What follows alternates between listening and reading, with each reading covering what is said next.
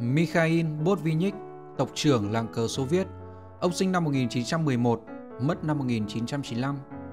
Trong suốt 30 năm thống trị nền cờ Xô Viết, Mikhail Botvinnik là người đặc biệt có ảnh hưởng tới sự phát triển của cờ vua. Có những giai đoạn như từ năm 1941 đến năm 1948, ông đã thắng một cách toàn diện các giải đấu lớn nhất thế giới, giành được 104,5 điểm ván trong số 137 điểm tối đa. Mikhail sinh ngày 17 tháng 8 năm 1911 trong một ngôi làng nhỏ tại vùng Saint Petersburg. Mãi đến năm 12 tuổi, ông mới bắt đầu làm quen với cờ. Nhưng nhờ học hành, luyện tập chăm chỉ, ông đã nhanh chóng đuổi kịp và vượt qua những kỳ thủ nhí được học từ sớm. Năm 1927, ông vừa phải ôn thi đại học, vừa tham gia các giải vô địch cờ vua toàn quốc. Khi đó, ông về thứ năm toàn Liên Xô và đạt danh hiệu kiện tướng quốc gia. Botvinnik kết hợp hài hòa giữa cờ và sự nghiệp nghiên cứu khoa học. Từ năm 1934 đến năm 1936, ở các giải đấu quốc tế, ông luôn về nhất hay nhì và điều đó không cản trở ông bảo vệ xuất sắc luận án tiến sĩ khoa học kỹ thuật.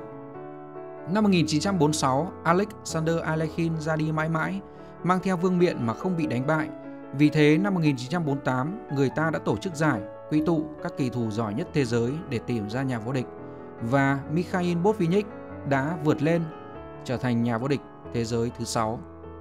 Botvinnik đã hai lần để tuột vương miện vào tay Vasily Smilov và Mikhail Tan vào những năm 1957 và năm 1960. Song chỉ một năm sau, tại các trận đấu phục thủ, ông đã đều giành lại được nó. Năm 1963, Botvinnik trao vương miện vua cờ cho Petrosian Tigran. Vào thời điểm này, FIDE đã thay đổi luật và bỏ việc tổ chức các trận thi đấu phục thủ. Sau đó, Mikhail Botvinnik dành thời gian cho nghiên cứu khoa học và giảng dạy cờ. Ông là tiến sĩ khoa học, tham gia chương trình chơi cờ đầu tiên trên máy tính ở Liên Xô với thương hiệu nổi tiếng Peony. Trường cờ Botvinnik là nơi duy nhất cho ra lò hai nhà vô địch thế giới và hàng loạt các siêu đại kiện tướng quốc tế khác như Anatoly Karpov và Garry Kasparov. Botvinnik đã khuyên người chơi cờ, thứ nhất, đầu tiên người chơi cờ phải có nền tảng thể lực tốt, phải tập luyện thể dục thể thao như bơi lội hay thể dục dụng cụ. Thứ hai, cần nghiên cứu các ván cờ của đối thủ sắp tới của mình, liên tục cập nhật thông tin như sách và các tài liệu về cờ vua. Thứ ba, kỳ thủ cần có sự chuẩn bị tốt, 3 đến 4 kiểu khai cuộc với mỗi màu quân và cần thực hành các loại khai cuộc đó. Và sau đây chúng ta sẽ chứng kiến hai ván cờ rất tiêu biểu của Mikhail Botvinnik. Sau đây thì chúng ta sẽ cùng theo dõi ván cờ đầu tiên. Uh, Mikhail Botvinnik cầm trắng gặp Max Aver trong uh, giải đấu FIDE World Championship Tournament năm 1948 tại Hà Lan. Uh, tiến sĩ Max Aver là một nhà toán học người Amsterdam. Ông là nhà vô địch uh, cờ vua thứ 5 của thế giới từ năm 1935 đến năm 1937. Ông còn là nhà toán học xuất sắc, đặc biệt là trong lĩnh vực vô tuyến điện tử, là chủ tịch Liên đoàn cờ thế giới FIDE giai đoạn năm 1970 đến năm 1978. Ông à, đặc biệt chú trọng đến việc phát triển cờ vua cho các quốc gia mà cờ còn chưa phổ biến. À, và cuối nhiệm kỳ thì ông đã đưa số quốc gia gia nhập Liên đoàn cờ thế giới lên con số 100 thành viên. D4 là lựa chọn của Mikhail Botvinnik. Max Aver trả lời bằng D5. Trắng chơi tiếp C4 và đen chơi E6. Gambit hậu không tiếp nhận. Trắng chơi mã F3, đen chơi mã F6 mã C3 và C6. Đây là thế trận semi-slab với cấu trúc tốt hình tam giác chĩa thẳng vào khu vực trung tâm. Như chúng ta có thể thấy, ờ, ba ô màu xanh với những con tốt nằm ở vị trí C6, D5 và E6. Trắng chơi tiếp E3, đen chơi mã BD7, tượng D3 và tượng B4. À, ờ, đen sử dụng hệ thống phòng thủ Nimzovic Trắng đi tiếp A3 và đen rất bất ngờ chơi tượng A5. À, ờ, thông thường thì ờ, đen sẽ đổi tượng lấy mã. Đen sẽ đổi tượng lấy mã và đưa về hình cờ kín. À, tuy nhiên với những kỳ thủ ưa thích mạo hiểm như Max Aver thì việc lựa chọn một cái phương án không phổ biến thì cũng không có gì là quá bất ngờ. Chúng ta quay trở lại ván đấu, tượng A5. Trắng chơi tiếp, hậu C2. Ở đây thì ờ, nếu trắng đi ờ, B4 thì cũng sẽ không có lợi thế gì. Bởi vì đen có thể chơi tượng C7. À, B4 thì giúp trắng mở rộng không gian cánh hậu. Một nước đi tưởng như là rất hiển nhiên. À, nhưng không, bốt vì nhích có lẽ không muốn đen chơi ờ, tượng C7 và sau đấy sẽ đẩy E5 để phá vỡ cấu trúc tốt liên kết giữa trung tâm của bên trắng. À, chúng ta quay trở lại ván đấu. Tượng A5, hậu E7. À, cái nước phát triển hậu này với ý đồ rất rõ ràng là phản công trung tâm bằng E5. Sau khi đen đi hậu E7 thì sẽ có nước E5 để phản công vào khu vực trung tâm. Trắng chơi tượng D2, DC, tượng C4 và E5 như kế hoạch. Trắng nhập thành an toàn vua và đen cũng nhập thành an toàn vua. À, chúng ta thấy là cặp tốt trung tâm của cả hai bên mặc dù là nghênh chiến với nhau nhưng không bên nào muốn bắt. Bởi vì nếu như mà bên nào bắt trước thì cũng sẽ chỉ gặp bất lợi. Ví dụ trắng chơi DE5 thì đen có thể sẽ là mã E5, mã E5, hậu E5.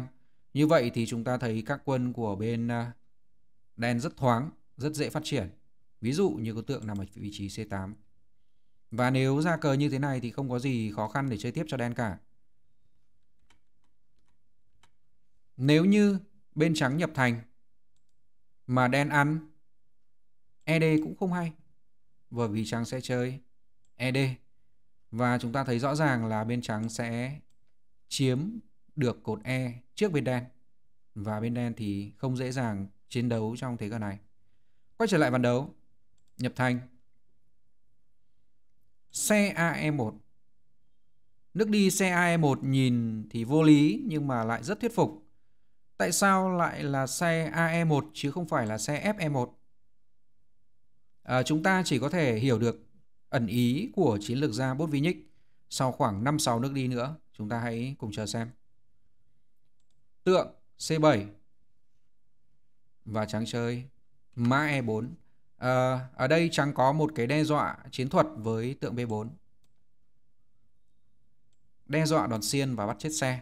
Tất nhiên không thể tượng D6 được vì bên trắng vẫn còn má E4 tấn công vào tượng D6. Thế nếu như bây giờ mà trắng chơi tượng B4 thì đen chỉ có cách phòng thủ là C5 và bên trắng sẽ bắt một tốt. Rất là nhẹ nhàng bắt lại một tốt. À, tuy nhiên à, đe dọa chiến thuật này thì không có gì nguy hiểm cho bên đen bởi vì đen rất là dễ dàng có thể phòng ngự bằng mã E4. Hậu E4 và đen chơi A5.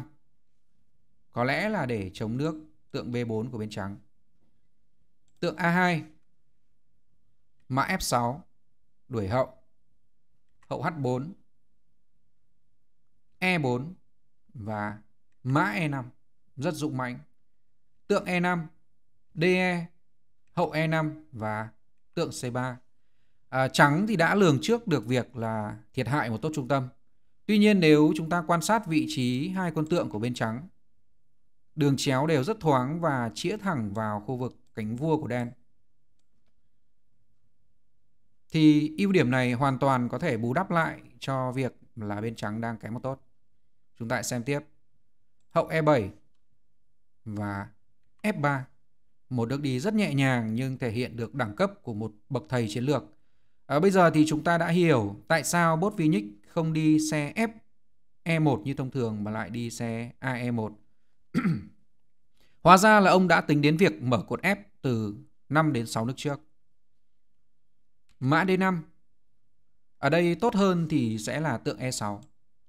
Tốt hơn cho Mark Aver sẽ là tượng E6 phát triển nốt quân nhẹ cuối cùng của sót lại. Tuy nhiên, mã D5 ở đây à, bên ờ, đen có lẽ muốn nhả lại một tốt trung tâm để giảm bớt áp lực. à, Aver thì có lý khi quyết định đi nước này bởi vì ông muốn nhanh chóng tiêu diệt một trong hai quân tượng của bên trắng đi để giảm bớt áp lực. Chúng ta xem tiếp hậu E7 đổi hậu, mã E7 và FE. Sau khi đã nhận ra được ưu thế trong cờ tàn thì ờ, Botvinnik đã quyết định đổi hậu. À, cờ đen thì ờ, bây giờ không còn nguy hiểm bên vị trí cánh vua nhưng lại gặp rất nhiều khó khăn trong việc phát triển nốt quân tượng còn sót lại. Bây giờ thì vấn đề là tượng đi đâu? Tượng E6 thì sẽ ra tốt yếu. Tượng D7 thì có thể sẽ là xe D1. Và ngay cả tượng G4 thì vẫn có thể sẽ là xe F4 sau đó thì trồng xe của F. Rất khó khăn cho bên đen. Ở đây đen quyết định chơi một nước đi rất chính xác đó là B6. Và dĩ nhiên sẽ là xe D1. Nước đi quá hay. À, ngăn cản tượng B7. Ai cũng biết nếu tượng B7 sẽ là xe D7 bắt đôi hai quân nhẹ.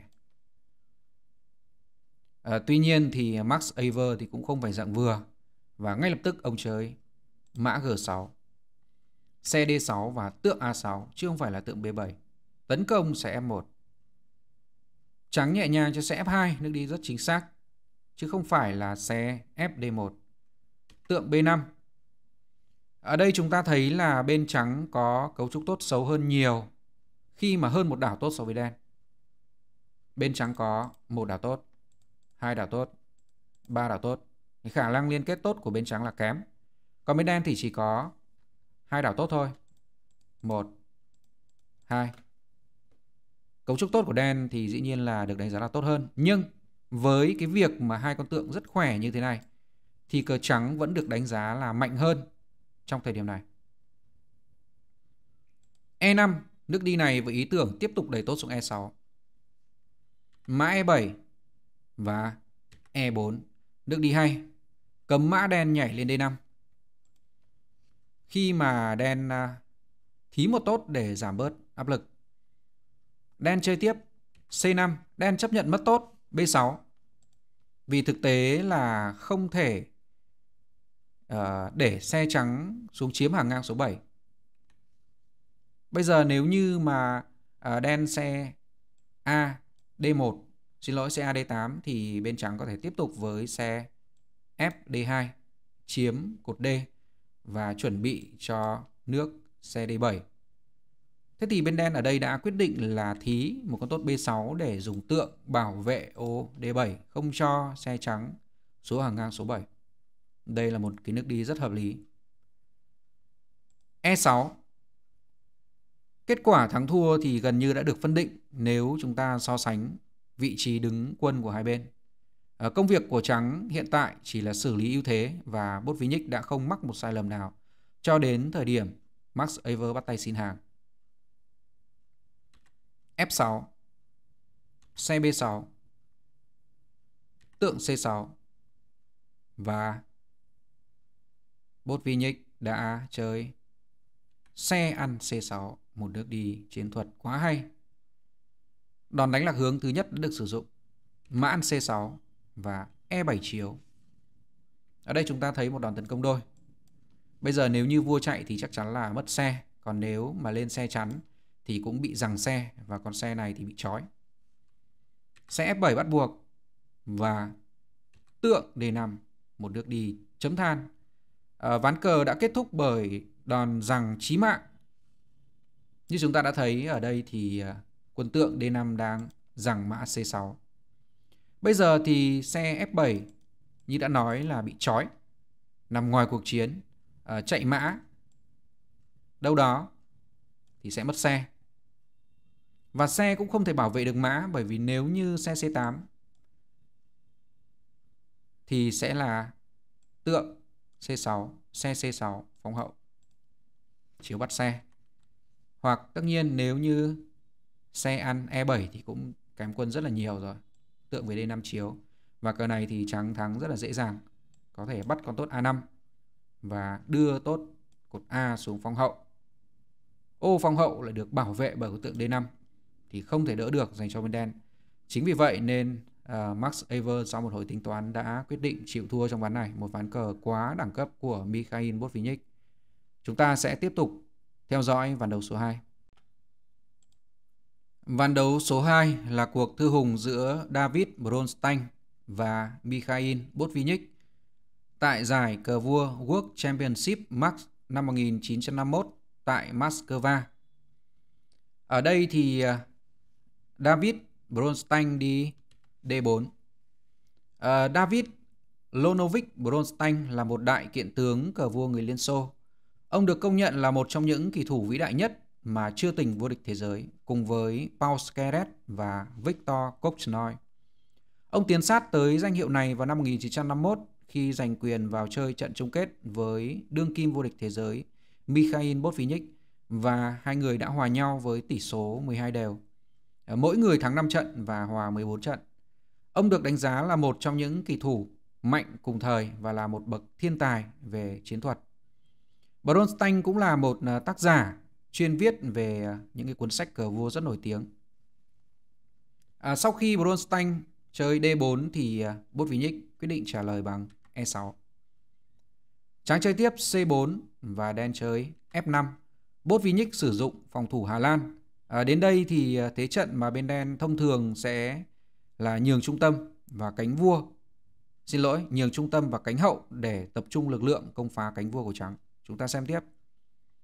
Trắng chơi E3, đen chơi mã F6, trắng mã C3, đen chơi D5 và trắng chơi một cái nước khá kỳ lạ đó là mã H3.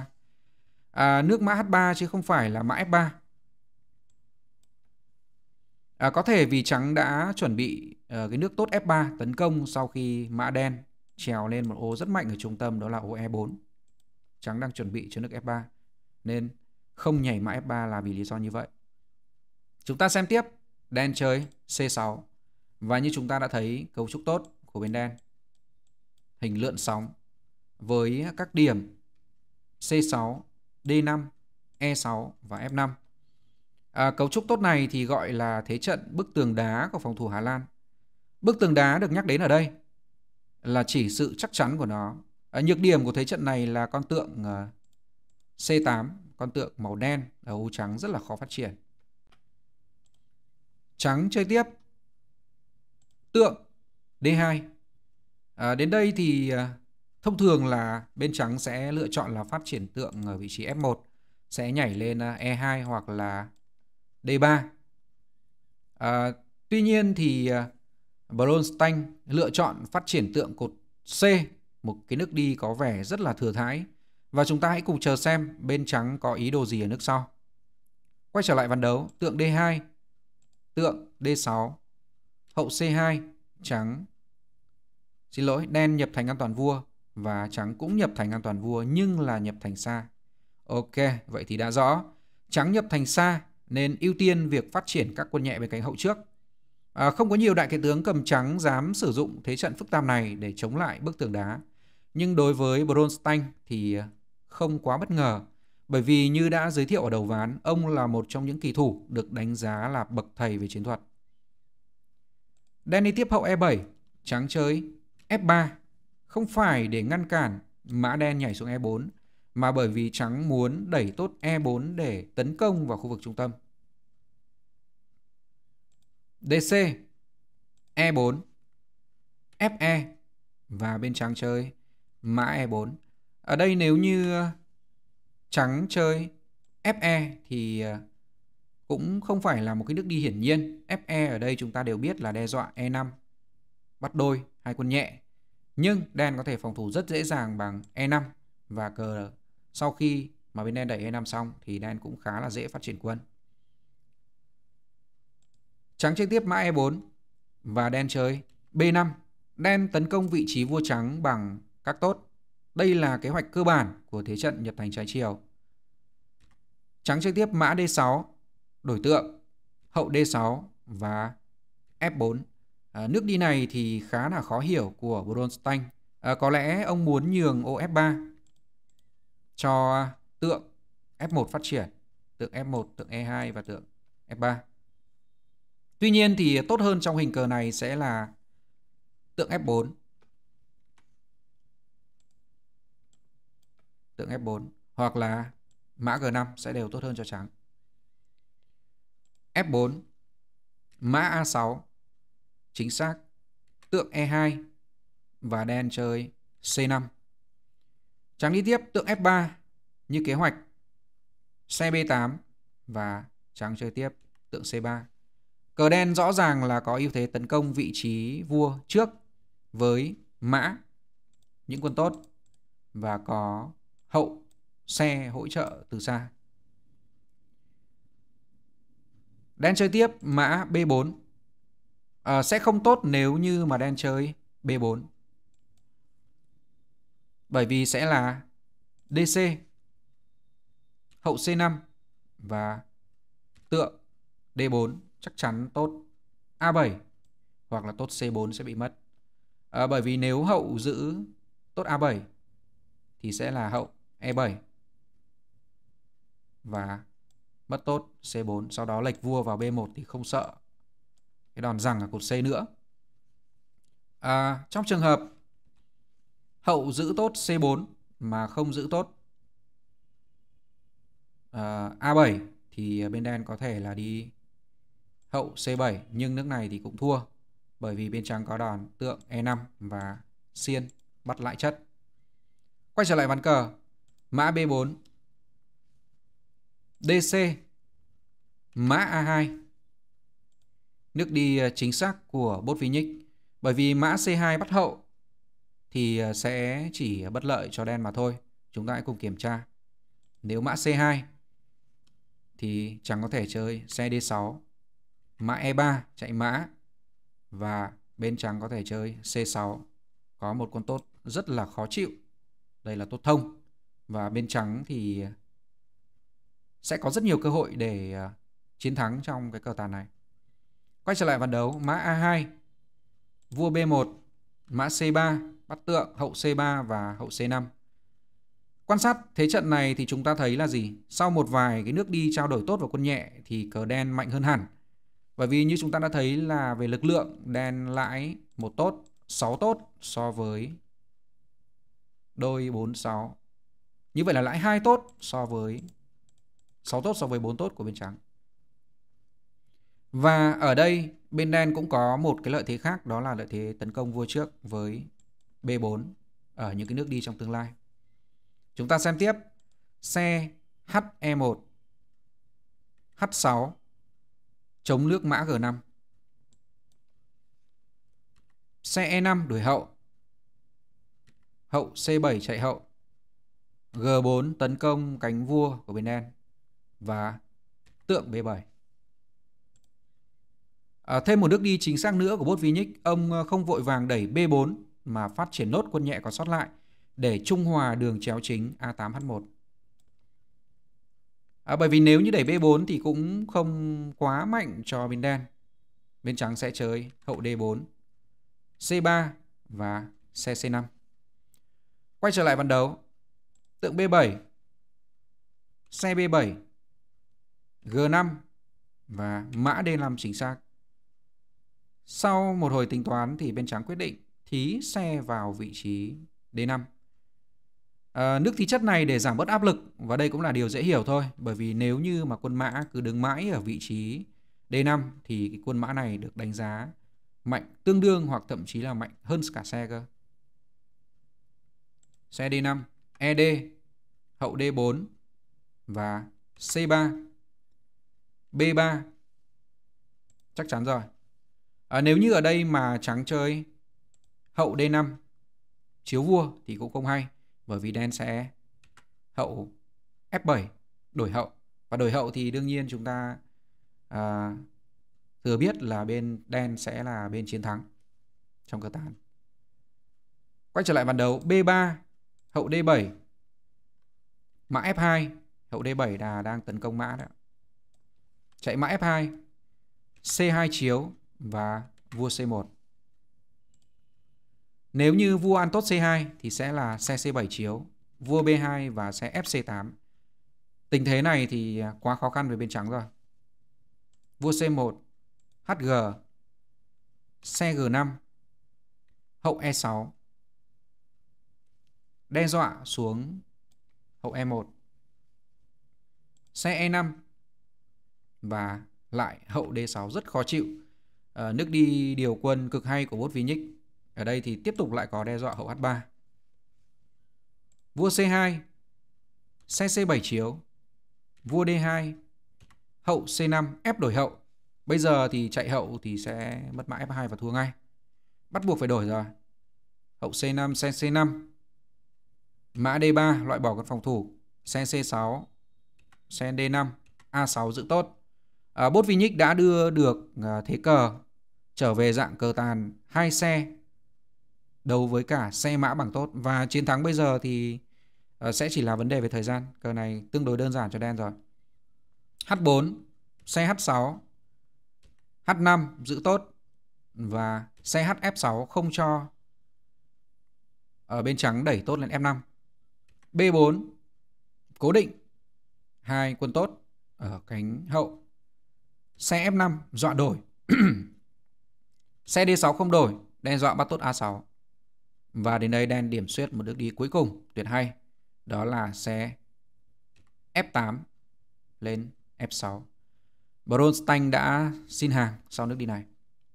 À, như vậy thì à, chúng ta đã vừa được theo dõi hai ván cờ rất tiêu biểu của nhà vô địch thế giới thứ 6 Mikhail Botvinnik. À, ờ, kỹ thuật cờ tàn cũng như là tư duy chiến thuật của ông được thể hiện ở một cái đẳng cấp rất cao. Đây quả không hổ danh là người thầy của hai vị vua cờ Anatoly Karpov và Gary Kasparov. À, xin kính chúc quý vị một à, kỳ nghỉ Tết nguyên đán an lành, hạnh phúc. À, xin kính chào tạm biệt và hẹn gặp lại ở những video tiếp theo.